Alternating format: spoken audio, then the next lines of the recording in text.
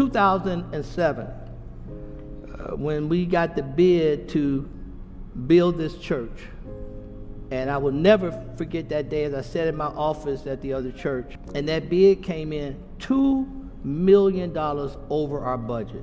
The first thing I did was grab a pencil. That's how I'm put together. I'm like, okay, let me start being analytical. Let me start trying to figure out how we're going to get this money. Immediately, the Spirit came over me, said, put it down.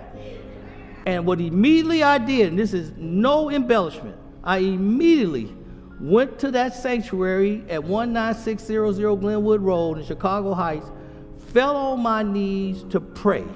See, that's where some saints mess up. You always looking first to yourself when you in a lot of mess.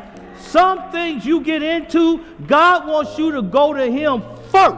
You can pick up a pencil later when He gives you instructions on what to do.